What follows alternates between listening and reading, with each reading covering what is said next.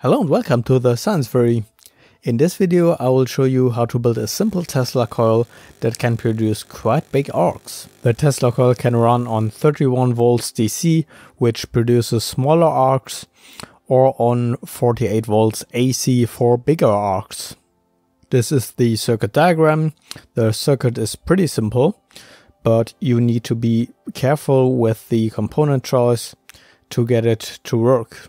I started by making the circuit board by gluing small pieces on a base plate.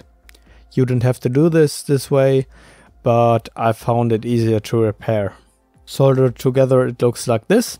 The positive wire is on the first piece and the negative wire is soldered on the base plate. From the positive side to ground I soldered a 220 nanofarad 600 volt film capacitor.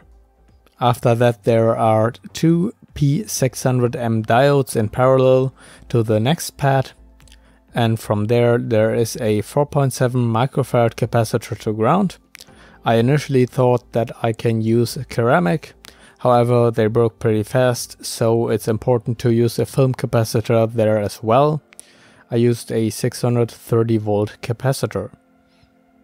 After that it goes over a 1.2 kilo ohm resistor to a 10 kilo ohm potentiometer that is connected to ground and the other lead goes to a 2.2 ohm resistor that's connected to the gate of the MOSFET. From the gate you solder a 100 nanofarad capacitor over a 22 ohm resistor to ground. Here you can apparently use a ceramic capacitor.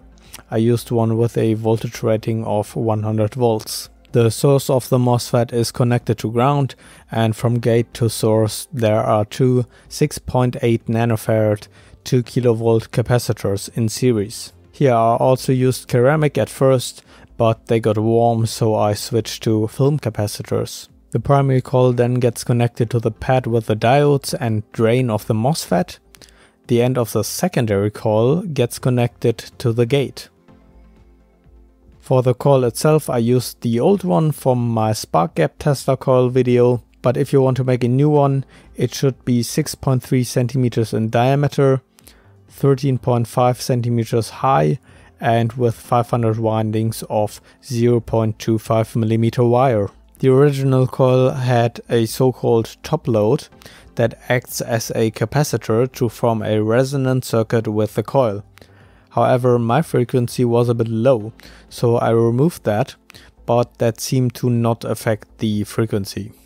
The primary coil should have two windings with thick wire, but three windings worked better for me. Between the primary and secondary coil I had 1 cm of epoxy resin for isolation, however I'm not really sure if this is really necessary.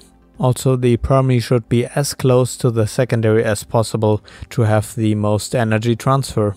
Before you connect the circuit to a power supply, it's important that you turn the potentiometer to the right, so the gate has no voltage yet.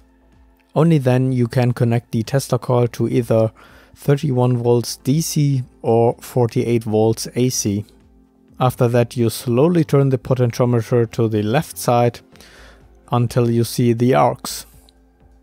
At 31 volts DC it should draw a current of 10 amps and at 48 volts 7 amps. To have the AC voltage I actually used a welder. It has only 40 volts but that's what I had on hand.